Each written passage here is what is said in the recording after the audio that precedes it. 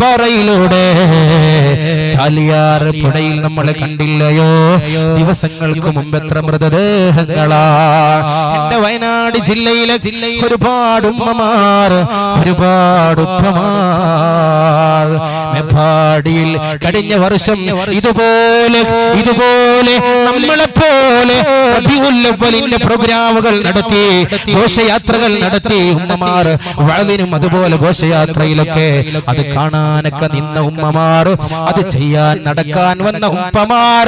അവിടെ ദപ്പമുട്ടിയ പൊന്നുമക്കൾ അവിടെ പാടിയ പൊന്നുമക്കൾ അതിൽ നേതൃത്വം കൊടുത്ത കമ്മിറ്റി ഭാരവാഹികൾ അവിടെ നേതൃത്വം കൊടുത്ത പ്രിയപ്പെട്ട ഉസ്താദുമാർ.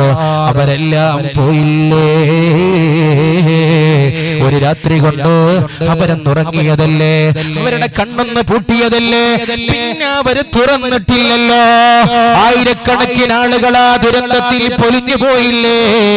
ചാലിയാറ് പുഴയിലൂടെ എത്ര മൃതദേഹങ്ങളാ ഒഴുകി വന്നത്?